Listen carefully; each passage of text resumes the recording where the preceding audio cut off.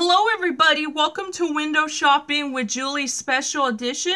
Today I'm doing a video on my experience doing word searches. So back when I was in 4th grade in 2005, I came from another elementary school which was called Laurel Creek.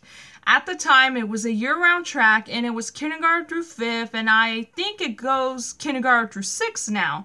So at Bransford Elementary School it was also a year-round track and um, it doesn't exist no more. It's now the Fairfield Suisun Adult School. So back when I was about in fourth grade, when I was nine, one of my former teacher, Mr. Hunley, that was his name, gave us homework for our spelling test, and it had word searches.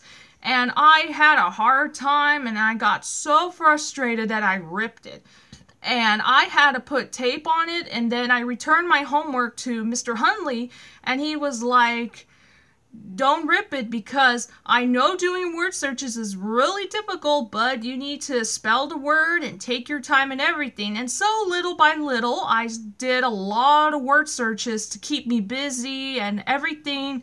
But as I got older, I'm now into adult coloring.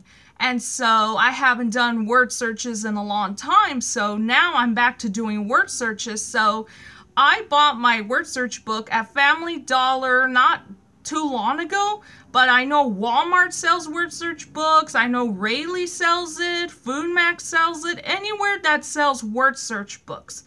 And I enjoy doing those. And I do two pages of word searches at my program when I go buy my lunch at Subway or at any place. And so I hope you enjoy watching this video. Don't forget to click the subscribe button and I hope you enjoy the rest of your Wednesday.